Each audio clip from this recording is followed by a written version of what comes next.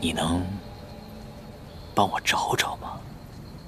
严旦自从被唐周抓了后，一直被他困在身边，走到哪里都带着，反正就是不愿放他离开。明知严旦是一只妖，唐周还是把他带回了凌霄派，甚至有一次哄骗严旦带上了傅离镯，就像当初应渊哄骗严旦一般。这该死的熟悉感，严旦真是可怜，到哪里都要被应渊压一头。帝君仍旧是那个帝君，尽管没有了记忆，但是恶趣味仍然不会改变。天上是应渊就喜欢犯规，到了凡间成了唐周，也依然喜欢犯规这个恶作剧。严旦都对他无语了，但是又打不过他，两人此时还只是一对欢喜冤家。但是距离两人生出感情也已经不远了。唐周时常喜欢捉弄严旦，沐浴的时候调戏他，睡觉的时候也喜欢调戏他。但是这一次唐周翻车了，唐周捉弄严旦，不料两人意外吻上正面，忍不住回看多遍，简直是甜到蛀牙。也正是这一个吻，让两人之间的关系逐渐开始变了味儿。这次唐周依然不可避免的再次爱上了严旦，只是这一次没了天规，唐周还会坚定的选择严旦吗？对此你如何评价沉香的剧情？欢迎留言评论。